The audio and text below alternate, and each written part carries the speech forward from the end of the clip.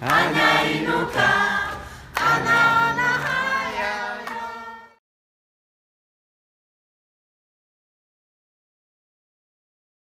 Hey everyone, I'm Sonny from London in the UK and today I have a really exciting video for you for the virtual maths camp. We're going to play a fun mathematical game called Split or Steal and this game is a two-player game. So, a quick introduction. Split or Steal is a game based on the famous Prisoner's Dilemma, which you might have heard of before. It's in an interesting new branch of maths called game theory, where when making your choice, you also need to consider the other player's choice. This means your choices are interdependent. So what you need today, a partner to play the game with, two small cards, each saying split and steal, and these can just be small bits of paper, and finally something to count scores with. If you have some tokens or coins or something like that, that would be great. But if not, you could just use a pen and paper to write down the scores. So this is what the game looks like, and this table is called a matrix. In the game, there are two points to be won, but who wins what is decided by the choices of the players. We have our two players on the left and at the top, the red player and the blue player. Each player has two options shown next to them, split or steal. Since two players have two choices each, there are four outcomes in total, and they are all shown in the table. In each section, the red number is the number of points won by the red player, and the blue number is the number of points won by the blue player. For example, if both players choose to split, we would end up with the top left outcome. And the players would split the two points to earn one point each. However, if the red player wanted to split, but the blue player chose to steal, the blue player would steal the red player's point and earn two points while the red player wins nothing. The opposite happens if the blue player splits and the red player steals. But if both players try and steal, it doesn't work and no one wins the points, so both players end up with nothing. Now it's your turn. Get ready to play split or steal with your partner. First, Talk to your partner for a couple of minutes about what choice you're going to make. Remember, the person with the most points wins. You are allowed to lie to your partner. Then, secretly choose split or steal and place the card you have chosen face down so your partner can't see it. Finally, reveal your choices and work out your scores. Play the game once with your partner. Pause the video now. How did it go? Did you get the number of points you were hoping for? Did you and your partner tell the truth to each other?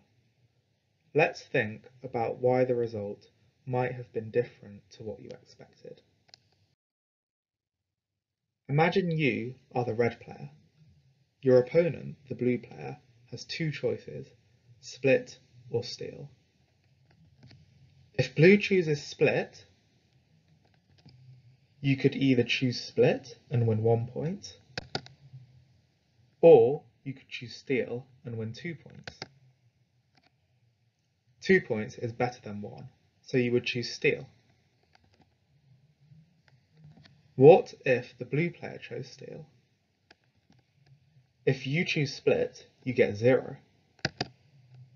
And if you choose steal, you also get zero. So it doesn't really matter what you choose, but let's assume you would prefer to steal so you don't give your opponent any points. As we have seen, no matter what your opponent does, split is never the best choice. This means steal is called a weakly dominant strategy.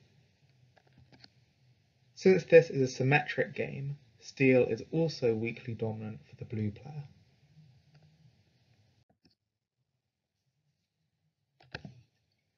We have proven that it makes sense for both players to choose steal. Therefore, the steal-steel outcome is known as the Nash equilibrium. But look at the matrix. The split-split outcome is better for both players, as they both get one point instead of zero. This means that the Nash equilibrium is not the optimal solution. An incredible result. We now know what should happen for a single game, but does this result hold if we play the game multiple times against the same player? Start the scoring from zero and play the game 10 times in a row with your partner. Does your strategy change now you know you'll be playing the same opponent again? Play the game 10 times with the same partner. Pause the video now. Did you manage to score more points than your opponent? A repeated game, like the one you've just played, is much more complicated because your decision is not only influenced by your communication with your partner in this round, but also what has happened in previous rounds. For example, you might trust your partner less if they stole in the previous round, which could make you more likely to steal in this round. In general, the more the game is repeated, the more likely you will be to cooperate with your opponent, because they could punish you in future rounds if you don't. Using the same logic, if you know there aren't many rounds left, you might be more tempted to steal because your opponent has less time to retaliate. As this is a very famous game, game theorists have developed many strategies that we could use when playing. For example, you could always cooperate, meaning choosing split every time. Or you could play steal every time. You might choose to copy what your opponent did in their last move, sometimes known as tit for tat or copycat. Grim Trigger is where you play split, but if your opponent plays steal just once, you punish them by playing steal for the rest of the game. You could even decide to choose randomly each time by flipping a coin. Which strategy do you think is best? Try playing five rounds, sticking to one of the strategies listed, and see what happens. If you can, swap partners this time. Then, pick another strategy and play five more rounds. Play using a strategy. Pause the video now. So which strategy scored you the most points? In 1980, Robert Axelrod made a tournament where he played 63 different strategies against each other to see which one came out on top. And out of all of them, it was tit for tat that won.